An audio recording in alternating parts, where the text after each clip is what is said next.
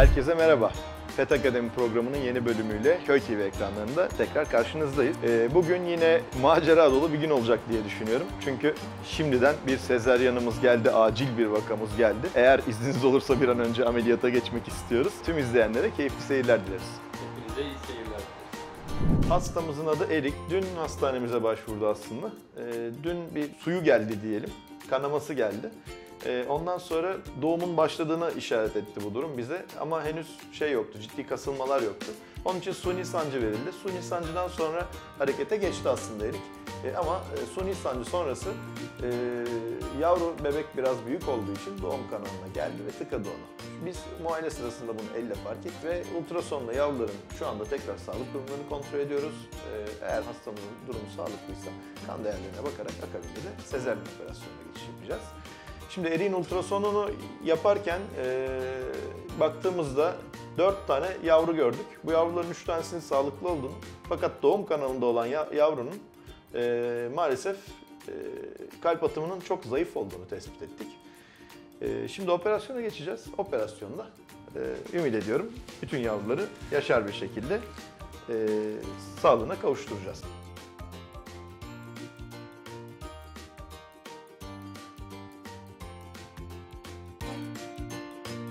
Evet, şimdi operasyonumuzu başlıyoruz. Operasyonda hastayı sezaryen yaparken aslında aynı zamanda kısırlaştıracağız. Hasta sahibimiz daha sonrasında tekrar yavru almak istemediğini belirtti. O yüzden kısırlaştırma ile birlikte sezaryen yapacağız. 5 kişilik bir ekip olarak buradayız şu anda. Ebelerimiz ve hekimlerimiz olarak diyelim. Ee, bakalım umarım güzel bir ameliyat olacak.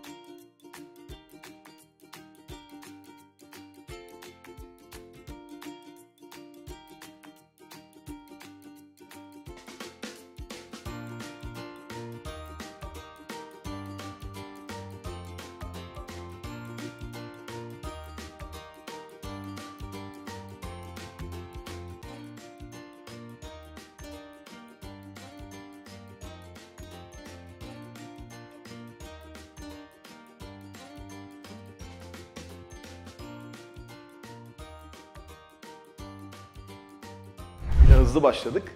Ee, ilk hastamız bir sezaryen hastasıydı. Ee, kedilerin ortalama gebelik süreleri 65 gün civarıdır. Ee, eğer bu süreç uzarsa doğumla ilgili problemlerin baş gösterebileceğini gösterir. Dolayısıyla bence 58-60. günler civarı e, veteriner hekimlerle, hastanızla ilgilenen veteriner hekiminizle temasa geçerek e, doğum sürecini kontrollü bir şekilde geliştirmekte, ilerletmekte fayda var. Şimdi hastamız olan Erin e, 69. günüydü. Dolayısıyla ortalama sürenin biraz üzerinde bir süre geçirmişti. Dolayısıyla da yavrular içeride biraz daha olması gerekenden fazla büyümüş oluyor. E, Erik'in e, eşinin de ebatları biraz büyük. E, koca kafalı bir e, kedi olduğu için e, tabiri caizse. E, yavrular da normale göre genetik olarak da biraz daha büyük olduğu için doğum süreci sekteye uğradı ve e, doğum kanalında e, bir yavrumuz sıkıştı. Bu yavrunun zaten ultrason sırasında e, kalbinin atmadığını tespit etmiştik. Hemen arkasında bir yavrumuz daha vardı. Bunun da e, kalp atım sayısı olması gerekenin çok altındaydı. Bu iki hastamızı kaybettik e, sezaryanda. Daha doğrusu ölü doğdular zaten. Diğer iki hastamız sağlıklı bir şekilde yaşıyor. Eriye geçmiş olsun diyoruz. Görüşmek üzere.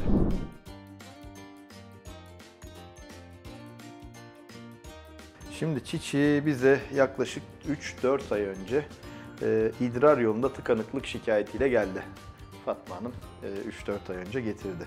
E, ilk ultrason muayenemizde üretranın e, hatta penise kadar taşla dolmuş olduğunu tespit ettik ve yer yer belli oranlarda.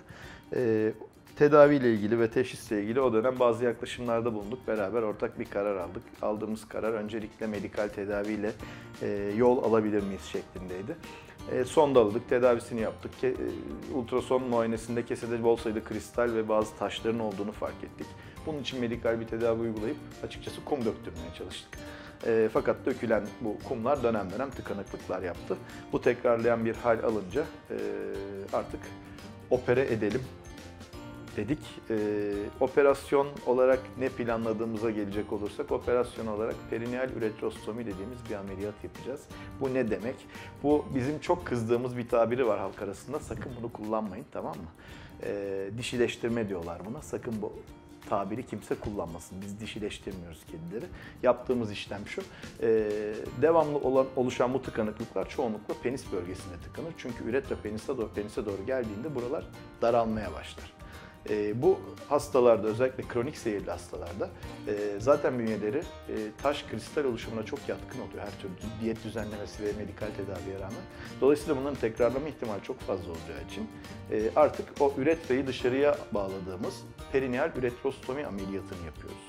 E, işte burada penis ampute olduğu için e, halk arasında veya bazı hekim arkadaşlarca da dişileştirme diye kullanılıyor bu tabir. Ama dediğim gibi bu yanlış bir tabir. Doğrusu üretrostomidir, perineal üretrostomidir.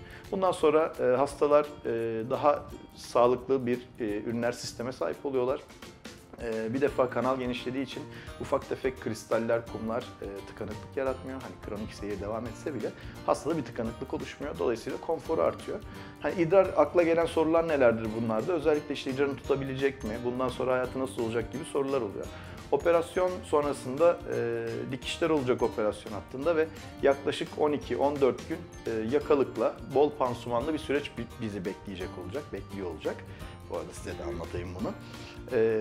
14 günün sonunda bu süreçte biraz antibiyotik kullanımımız olacak. Zaten sizin hali hazırda kullandığınız diyet mamalar var, bazı takviyeler var. Bunlara devam edeceğiz. Sonraki süreçte dikişler alındıktan sonra akla gelen sorulardan idrarını tutabilecek mi? Tutacak.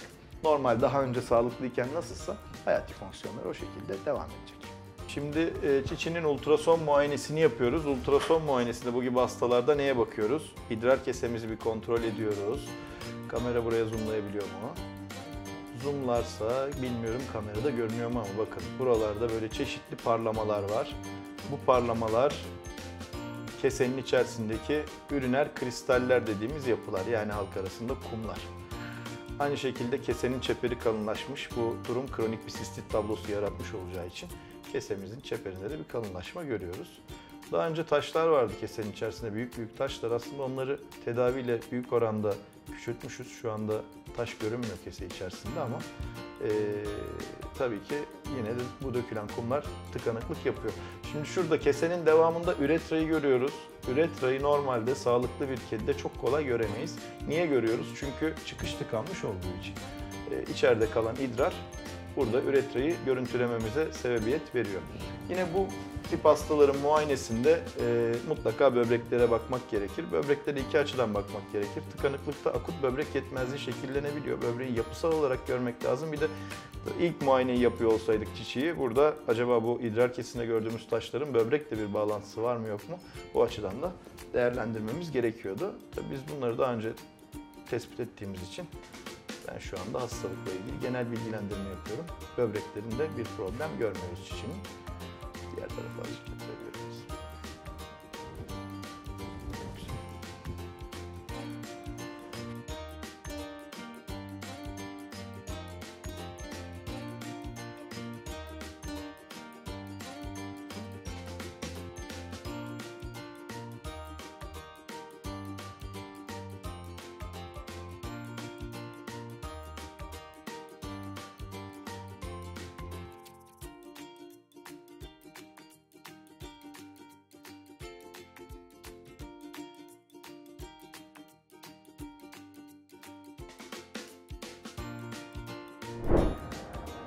Bu ameliyat hazırlığı biraz uzun bir ameliyat.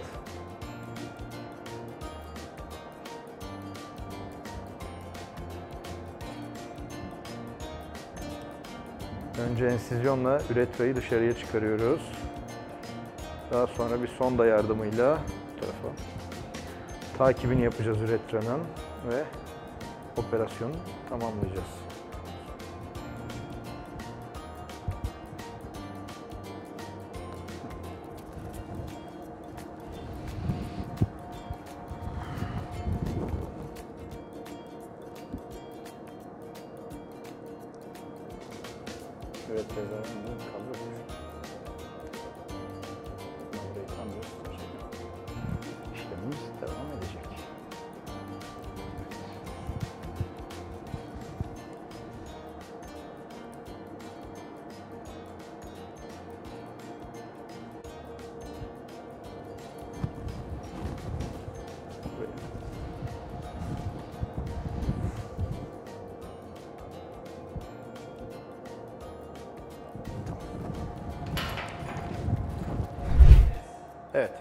Şimdi Çiçi'nin e, ameliyatı bitti.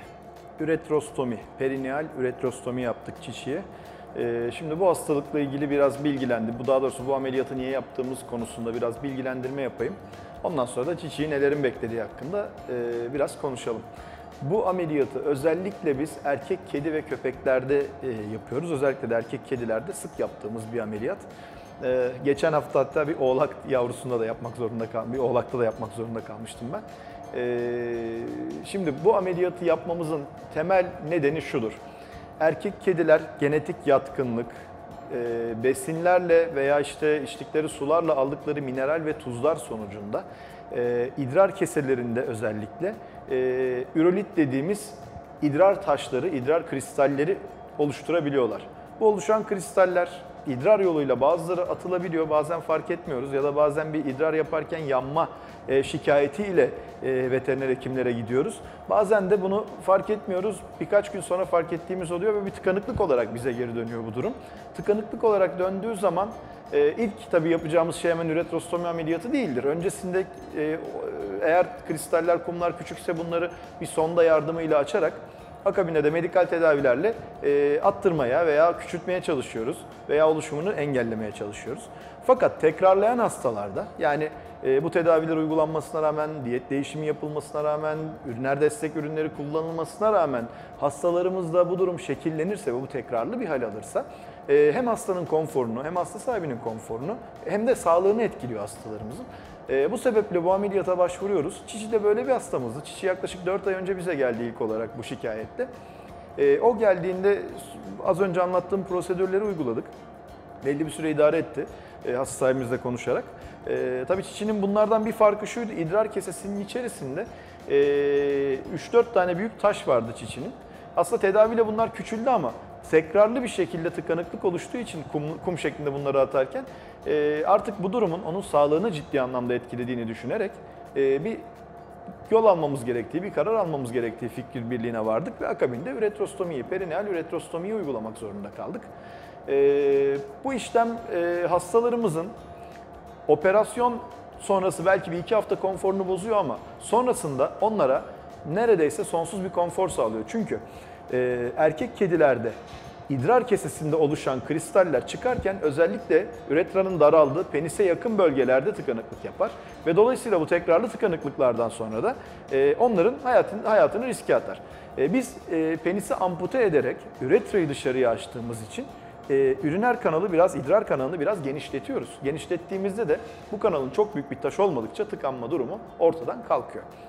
E, şimdi çiçeği ne bekliyor? Çiçeği şu bekliyor. Ameliyat sonrası süreçte e, antibiyotik, antiseptik, antiseptik uygulanacak ameliyat bölgesine. E, sistemik antibiyotikler, ağrı kesiciler uygulanacak. Yakalı olacak kafasında.